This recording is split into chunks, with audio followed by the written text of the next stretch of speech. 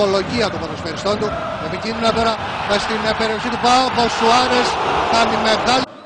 Και ενώ προσπαθεί να το εκμεταλλευτεί με το πολύ δυνατό σούτ απόκρουση από το Χαλκιά. Το πρώτο σούτ από το Σέντρα, η απόκρουση πάει να γίνει το λάθος από το Χαλκιά. Καινή αιστεία ο Τσιρίλο, πανικός στην άμυνα του Πάου και το γκολ από τον ε, Σουάρες.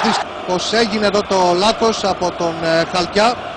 Με καινή αιστεία δεν μπόρεσε ο Τσιρίλο να διώξει μακριά. Και ο Σουάρες, αυτό το γυριστό σουτ. Ξανά Μαλεζάς. Τσιρίλο δεν μπόρεσε, επικίνδυνος ο Σουλεϊμάνη, αποφεύγει το Μαλεζά, κίνδυνος για τον Πάου για τον Άγιαξ. Ο Σουάρες αποφεύγει εντυπωσιακά το Μαλεζά, αλλά σώζει ο Αλλά πέρασε από το Μαλεζά ο Σουάρες επικίνδυνα. Δυνατό το shoot out. Η πάσα για τον Ήβιτς, ευκαιρία για τον Μπαφ, γκολ! 1-1 στο 72 με τον ε, Βλάνταν Ήβιτς.